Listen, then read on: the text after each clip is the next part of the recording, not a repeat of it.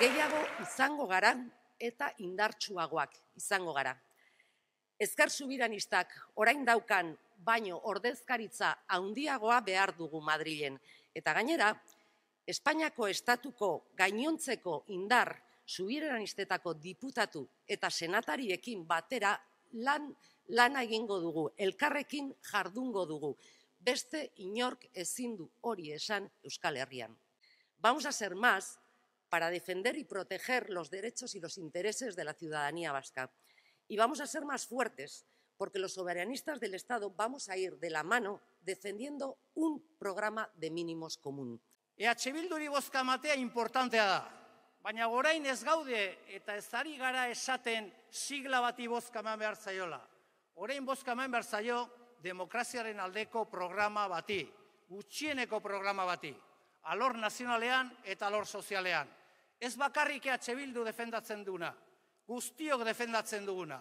Horrek sekulako indarra aukiko dulako botoetan eta sekulako presentzia kongresuan eta senaduan.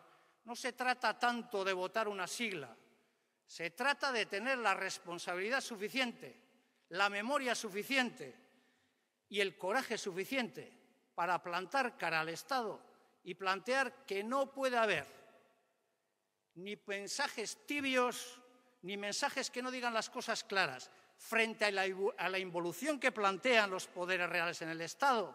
Este Estado necesita caminar en otra dirección. Y solo desde el soberanismo es desde donde estamos haciendo posible ese camino, otra vez. Y solo desde la defensa de este programa de mínimos es posible acabar no con unos restos que están en un valle, sino con la herencia que nos dejó la dictadura hace 40 años. Con eso es con lo que hay que acabar. Baikortasuna, ilusioa, esperantza, jendeari ziurtasuna eman behar zaio. Eta gu ziurtasun bat ematen dugu, eta bentaja badaukagu kanpaina honetan. Batzuk azaltzen ari dira zer egingo duten, guk azaltzen duguna da zer egin dugun. Gu jendeari esan genion, gu zertara gindoa zen badilera, eta kumplitu dugu. Eta herri honetan beti ikasi dugu, hitza betetzea oso gauza garrantzitsua dela. Hori erakutsi ziguten gure arbasoek. Hitza betetzea euskaldun batentzat oso importantea da.